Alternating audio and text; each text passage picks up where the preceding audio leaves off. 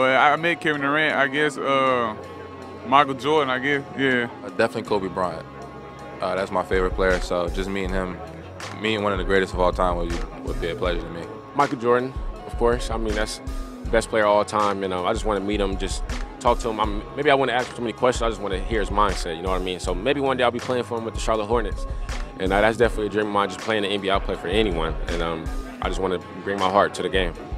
Probably say LeBron. You know, wondering how, how he is personally. Uh, you know, off the court. Uh, you know, we, we see him a lot on the court and see you know how he's a leader and, and you know a great guy on the court. Uh, just to try to meet him off the court and, and see his character. I have to say uh, Michael Jordan. Yeah, I would love to meet uh, Michael. You know, to see what kind of person he is. Uh, probably meet Joe Johnson. Uh, I just I love his game. I love how he plays. I think he doesn't have the tenacity, but as far as skill wise, I don't think there's many guys better than him in the league. Uh, Michael Jordan. You know, I was kind of just want to sit down and talk to him. You know, maybe get some sneakers or something.